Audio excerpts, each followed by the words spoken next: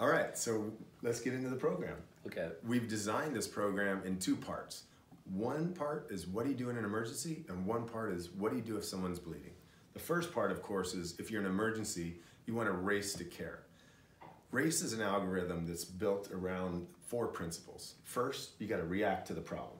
When we talk about reacting to the problem, we talk about recognize that there's a problem and do something to improve your situation.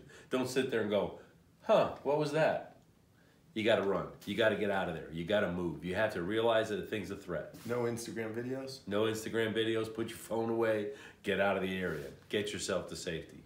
And while you're getting yourself to safety, call 911. Activate. Pull the fire alarm, activate that emergency system. We all have emergency response plans in our offices and our schools. This is the time to use them.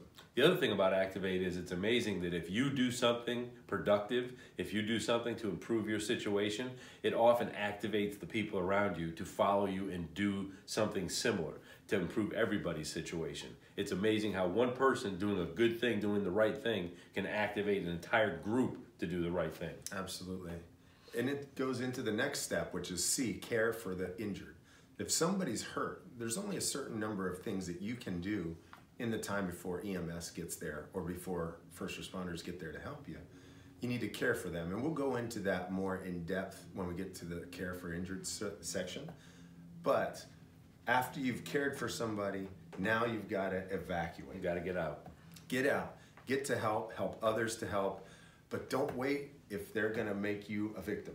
Right. We want you to make sure that you are always keeping yourself safe, your loved ones safe, and do what you can because you're not going to be able to do everything. No, and once you recognize that there's a threat and you've activated yourself, you've let 911 know that there's a threat, the next thing you have to do is get out. You have to get away from the threat. As much time and distance between you and that threat as possible. And if you can take other people with you, fantastic. But if don't let them slow you down, don't let them talk you out of it, don't let them tell you it's nothing, you've got to get out.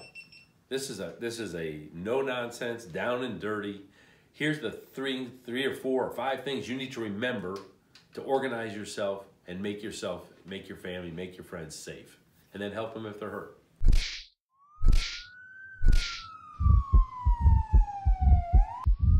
For more information on how to care for trauma victims, visit firstcareprovider.org.